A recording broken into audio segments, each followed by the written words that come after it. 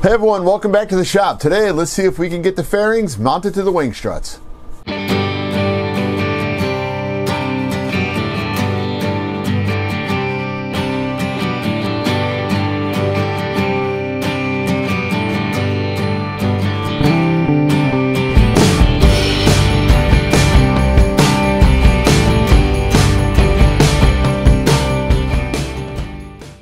Where we are going to be getting started today, we're going to start today on the wing struts first. Then we're going to move to the cabane struts, and hopefully by the end of the day, I'm hoping we can get to the landing gear.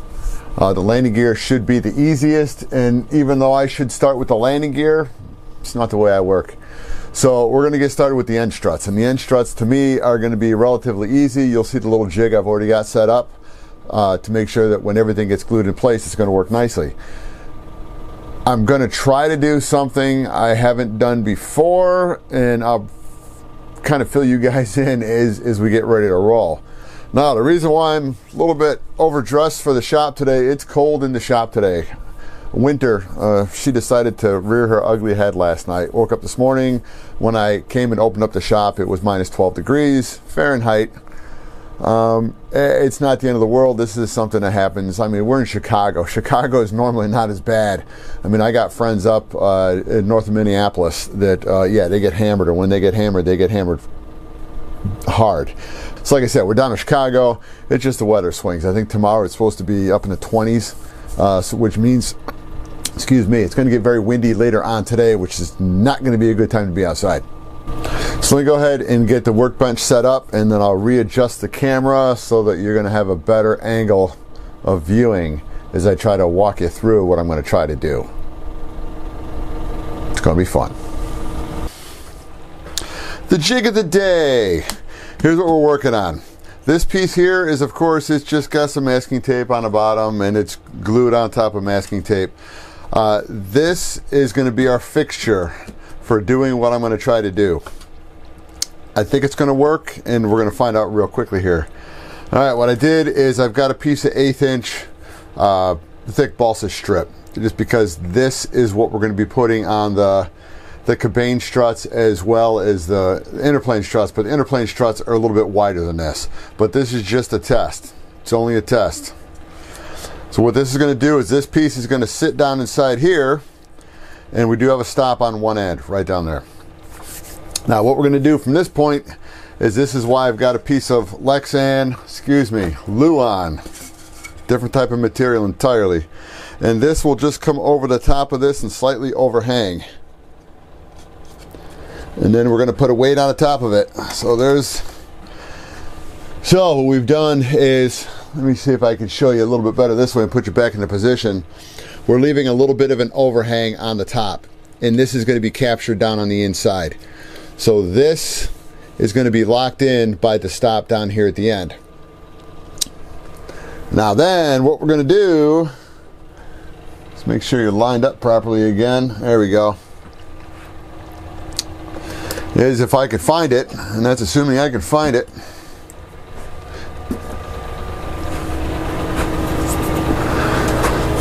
I got a piece of eighth inch rod. This side over here, when I cut it off, I ground it flat. It's got a burr edge on it.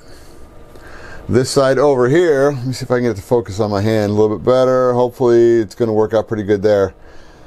This is rounded over. And what we're gonna do is we're gonna come on over here, we're gonna push it up against the side such as this, and because it's eighth inch on eighth inch balsa, we have this piece down here sitting eighth inch. Let me get it weighed down better here. So this is compressing the balsa down. So it can't slide out and it can't slide this way. So what I'm gonna do, and we're testing, I'm hoping it's gonna work. We're gonna come in with the burr edge first. And that's the sharpest edge on the burr. We're gonna push it in here relatively firmly and then push it down.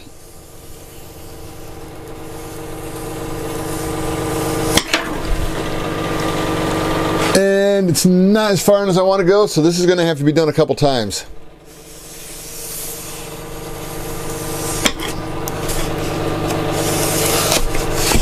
And there's first failure. I went underneath it, pushed in too hard. I'm going to need a heavier weight because I just lifted it.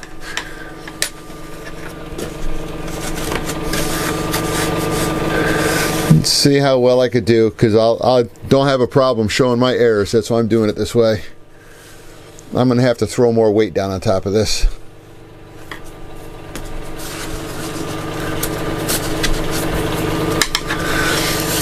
If I can get it to a point where I can show one good end, we're going to do it. Alright, so now we're just going to go ahead and round it.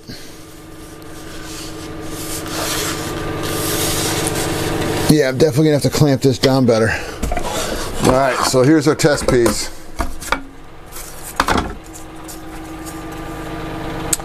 That's going to work out pretty good. I'm just going to have to figure out how far I want to go in deep with this. Alright, so what we ended up doing, if I can get it in focus, you're going to see how we've got it where it's cupped. And when this piece goes on the eighth inch, and it's going to wrap around it. So that way we have a better fitment to it. So when we go ahead and epoxy that in place it's going to sit flush to the sides. So in my madness on how we did this I just rushed it. So what I'm going to do is I'll come in modify this piece so I can get more weight up here because I've got some more I've got some more steel around here somewhere to make sure that this is set down pretty flush because as you can see the piece of Luan I'm using has got a bow to it and it's really not what I want but it's the only thing I had. So I'll go ahead and make sure when this is set up again it's going to have proper weight because I don't have clamps that can reach this far in. So I may just go ahead I'll figure this one out. I'll figure out for weight and I'll bring you guys back. Okay I made a slight change in plans. I slid this this way because I had to get better clamping pressure on the end and then I'm taking the vise and just stacking it vertical right there. I've already run across this. You can see the dust that's on the tip. So there's the burr edge, there's the smooth edge. Uh, I, what I did was I came in, came this way about two thirds of the way, this way about two thirds of the way. I did that a couple times, came by, just finished it off with one swipe in each direction. Let's see what it looks like.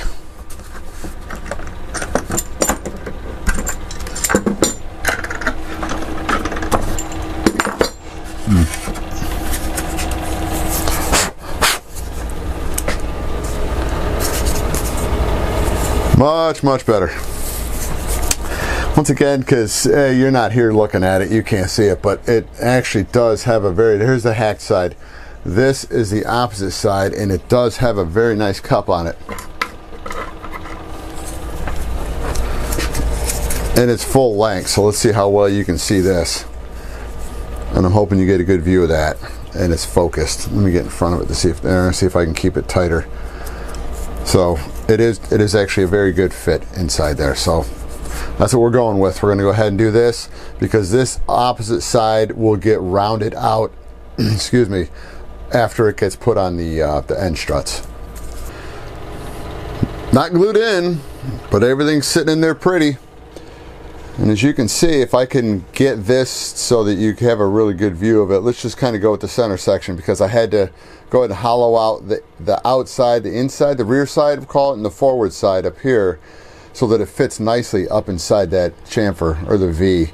So you can see how tight it is there and it's going to come all the way down so when it gets glued into place this will be tightened up just like that. So it's going to be very good looking and uh, yeah it's going to glue on a lot nicer because you've got much more purchase. Let's see if I can get this thing at an angle where you can kind of see, hopefully right about in there. I'm hoping you can get a good view at the angle of that because it's gonna glue in nicely. So this side is done. I'm gonna put it off to the side because I'm gonna have to prep the steel uh, before I go ahead and glue these things into position. So I'll go ahead and get the other side set up and then from there we are going to start trying to figure out how we're to do the cabanes that's going to be the interesting part. Uh, yeah, it's the same size wire, eighth inch, so we're going to be using the same setup we're using down here. We're just going to have to kind of figure out how we're going to cut up the strips because the strips are these right here. You know, they said it comes with three strips. The original builder, uh, on the strips, I had to piece some together. I had one of these, which is the, oh my gosh, 3 ace by eighth inch by 30 inches long so I had to cut and luckily I've got some scrap some scrap I've got some good stock still over there in my little pile of junk um, that I was able to go ahead and trim up So that piece was wasn't there. And the other piece that they did not have was the 3 16ths by 3 eighths by 30. That was not in there, as well as one of these, which was the half inch by eighth inch by 30. So, but luckily, like I said, I've got enough plank material over there. I was able to just go ahead and rip another one out. Got two of them ready to glue together. Like I said, there's going to be prep on the metal. I've got to clean it up. I'm going to scuff it, and then it'll be five minute epoxy. I'm guessing we'll figure that out when it comes. Uh, and then the little kind of sort of board I've got it set up to. You probably, I had it sitting on top of when I took the, uh, showed you what it looked like with the pieces kind of just at least in the right position. Um, this is what we're going to glue them up on. So, but until we're ready to start gluing up, these we'll get hung up right over here until we get everything else ready to glue up as well. All right, the little fairings are all done and ready to glue into position. That's for the rear Cabane struts. That's for the front Cabane struts. All six of them already cut. I just I gotta just pretty much dress up the ends before they get glued in. And for the uh, landing gear struts, the landing gear struts, the landing gear. Those things up there on the wall. And these are going to go down in here. They have to be cut to fit. And then I've got to take this all apart to figure out exactly how these things are going to get glued into place because I don't think there's a single picture of it. So I'm just going to figure it out. I think that one picture showed it going down inside. It showed it going down inside here, which is, of course, that's the way it's going to go down. Uh, I just have to figure out how to just set up. I think they're going to come in and meet in the center. Soon as I know it, you guys will know it.